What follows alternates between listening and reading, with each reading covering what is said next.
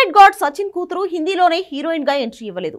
అలాంటిది తెలుగులో అది మెగా పవర్ స్టార్ రామ్ చరణ్తో జోడీ కడుతోందా? బుచ్చిబాబు ఏకంగా సచిన్ నే కలిశాడంటున్నారు.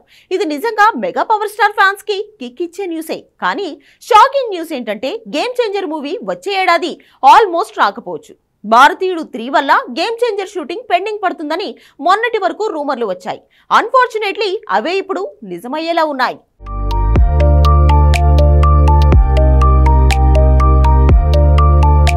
క్రికెట్ గార్డ్ సారా టెండూల్కర్ తెలుగు సినిమాలో మెరవబోతోందంటే అదేదో సెన్సేషనల్ న్యూస్ అవ్వాల్సిందే. అంతకుమించి mega power star Ram Charan కొత్త మూవీలో తను కన్ఫర్మ్ అయిందంటే నిజంగా సౌత్ నార్త్ మాత్రమే కాదు ప్రపంచవ్యాప్తంగా ఉన్న ఇండియన్ షాక్ అయ్యేలా చేసే వార్త అది. కానీ ప్రజెంట్ అలాంటి పరిస్థితులు ఏం కనపడటం లేదు. అయినా ఈ ప్రచారం పెరగడానికి కారణం ఉంది. ఉప్పిన ఫేమ్ బుచ్చిబాబు ఓసారి సచిన్నే కాదు సారాని కూడా కలిసే ప్రయత్నం చేయడంతో ఇప్పుడు ఈ వార్తలు పెరిగాయి. అసలే game changer movie pending shooting పూర్తి కాలేదని శంకర్ కోసం వెయిటింగ్ లిస్ట్లో ఉన్నాడు రామ్ చరణ్. ఇలాంటి టైంలో ఒక గుడ్ న్యూస్ ఏంటంటే సారా టెండూల్కర్ని చరణ్ మూవీలో తీసుకునే ప్రయత్నం జరగటం.